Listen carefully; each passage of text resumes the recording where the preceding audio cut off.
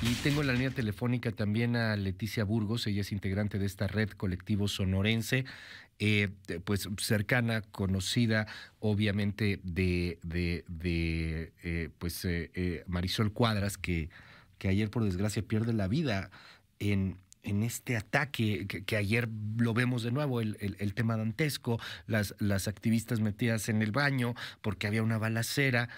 Te aprecio mucho que nos tomes la comunicación. Gracias, Leticia Burgos. Buenos días, ¿cómo estás? Buenos días, Luis. Me da mucho gusto saludarte, saludar a todo tu público que el día de hoy está contigo. Oye, eh, ¿qué, ¿qué pasó? ¿Qué, ¿Qué opinan de todo esto? ¿Cómo están? Pues totalmente consternadas.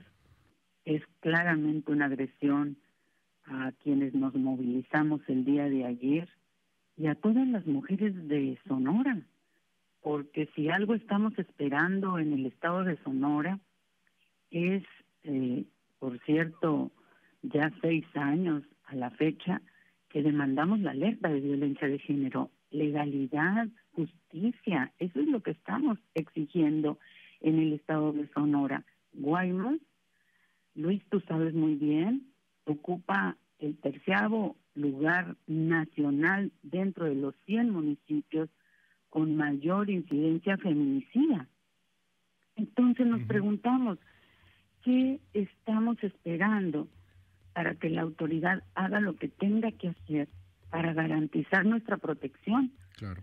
Marisol era activista, defensora, a toda prueba, de 18 años, Luis, que se movilizaba con el corazón en la mano para construir paz. Ayer salimos Ayer salimos de diversas localidades de Sonora, igual que ella y su colectiva, que desde aquí saludamos y nos horrorizamos con ellas y sus familiares para clamar justicia, porque lo que demandamos es lo que dice la ley, Luis.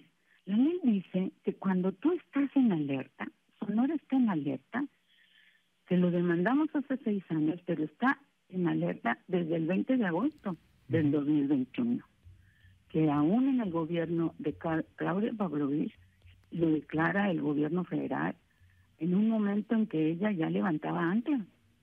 Entonces, eh, a la fecha, lo que demandamos es que se instrumente lo que dice la ley. La ley dice un plan estratégico.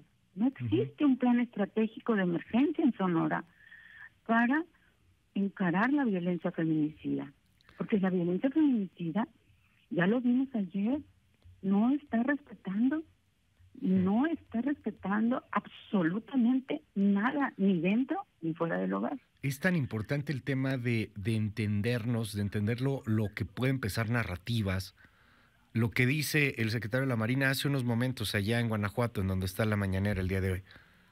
No, o sea, no, era contra ella, ¿no? Es, es un asunto ahí de un enfrentamiento y, y, son daños colaterales. Otra vez la palabra de daños colaterales, otra vez el asunto feminicidio, una muerte de una mujer. Ah, fue un daño colateral. No, no es un tema contra las mujeres. Me parece que es la narrativa hoy del gobierno. De Luis, perdón, pero ayer quién no sabía que quienes íbamos a movilizarnos éramos las mujeres. Totalmente una agresión directa a la movilización, es, un, es una agresión directa a las colectivas que encabezamos la movilización en todo el país, en el mundo. El día de ayer, el día de ayer era emblemático, es emblemático el día de ayer. Quien no salga, de verdad, eh, por la vida, la seguridad y la libertad de las mujeres, no está entendiendo el momento en el que estamos viviendo, la sociedad entera porque en Sonora ocupamos el segundo lugar eh, de feminicidios eh, en el país y primer lugar en violencia familiar y abuso sexual, Luis. ¿Qué quiere decir esto? Que estamos en alerta. Estamos en alerta y quien no lo entienda así no sabe qué está haciendo en el cargo que ocupa. Leti Burgos, vamos a seguir muy de cerca este, este tema. Eh, algo que se le pediría en estos momentos al gobierno federal, al gobierno eh, de, Sonora, en, en, el marco pues de, de, este movimiento, en el marco de esta tragedia, ¿con qué cerrarías?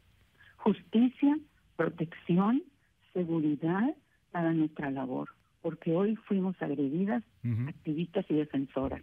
Protección y garantías para nuestra labor y justicia, porque lo que hemos estado demandando es alerta de violencia de género contra las mujeres en Sonora ya.